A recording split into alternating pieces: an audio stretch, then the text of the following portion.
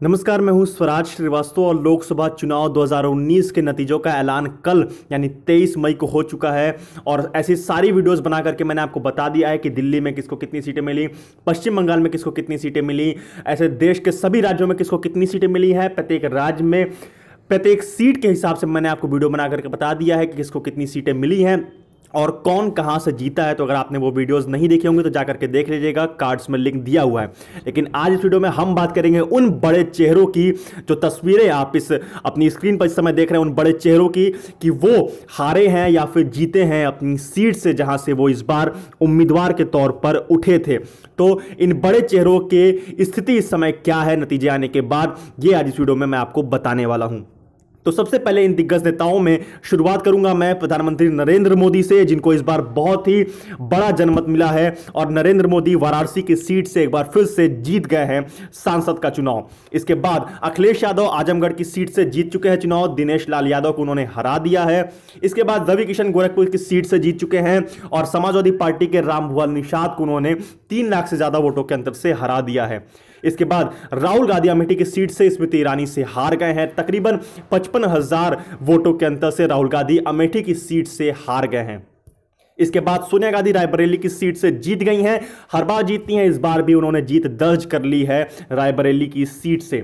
इसके अलावा राजनाथ सिंह लखनऊ से उम्मीदवार थे, वो भी इस सीट से जीत चुके हैं और कभी ये सीट अटल बिहारी वाजपेयी के पास हुआ करती थी, आज राजनाथ सिंह के पास आ गई है। इसके अलावा राज बब्बर फतेहपुर सिकरी से कांग्रेस के उम्मीदवार थे, कांग्रेस के प्रदेश अध्यक्ष हैं यूपी में, वो इस सीट से हार गए हैं तो ये कांग्रेस के लिए बहुत दुख की बात है और कांग्रेस के लिए इसको, इसके लिए सोचना ज़रूर पड़ेगा।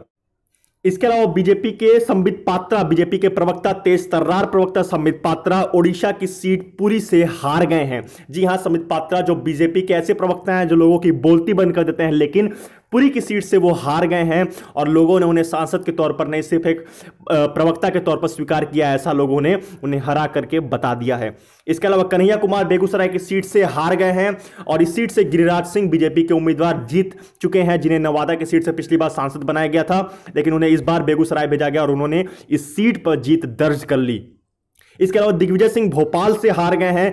कांग्रेस के बड़े नेता, कद्दावर नेता, कभी मध्य प्रदेश में मुख्यमंत्री रहे दिग्विजय सिंह, इस बार भोपाल की सीट अपनी नहीं बचा पाए और साध्वी प्रज्ञा ठाकुर सीट से बहुत बड़े वोटों के अंतर से जीत गई हैं दिग्विजय सिंह से। इसके अलावा आज़म खान रामपुर से जीत चुके हैं। जयप्रदा को उन्होंने हरा दिया जो बीजेपी की कैंडिडेट थी। रामपुर अपने आज़म खान जो है, वो रामपुर से पिछली बार भी सांसद थे और इस बार भी कई बार अपने विवादित बयानों को लेकर ही वो चर्चा में रहे हैं। जयप्रदा पर भी उन्होंने कई बार बयान दिया था लेकिन रामपुर की जनता ने एक बार फिर से उन पर भरोसा दिखाया है और उन्हें सांसद के तौर पर चुन लिया है। इसके बाद मनोज तिवारी उत्तर पूर्वी दिल्ली से उम्मीदवार दिल्ली आ, के अध्यक्ष भी हैं बीजेपी के। उन्होंने जीत दर्ज कर ली है और दिल्ली की सभी सात सीटों पर बीजेपी ने जीत दर्ज की है। इसी तरीके से गौतम गंभीर जैसे कि मैंने बताया कि दिल्ली की सभी सात सीटों पर बीजेपी ने जीत दर्ज कर ली है तो गौतम गंभीर भी बीजेपी के उम्मीदवार थे पूर्वी दिल्ली से वो भी इस सीट से जीत चुके हैं। इसके अलावा मुलायम सिंह यादव मैनपुरी से उम्मीदवार थे, उन्होंने भी अपने प्रतिद्वंदी को हरा दिया है और मैनपुरी की सीट से उन्होंने भी जीत दर्ज कर ली है। तो ये वो बड़े बड़े नेता थे, वो बड़े चेहरे थे, जिनके बारे में आप सभी जानना चाहते थे। तो इन सभी नेताओं की स्थिति क्या है, कौन जीता है, कौन हारा है, ये सब कुछ आज इस वीडियो में मैंने आपको बता दिया है।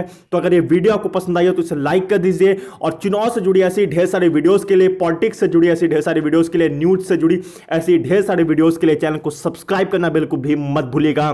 तो फ़िलहाल इतना ही, मिलूँगा किसी और वीडियो में, तब तक के लिए धन्यवाद।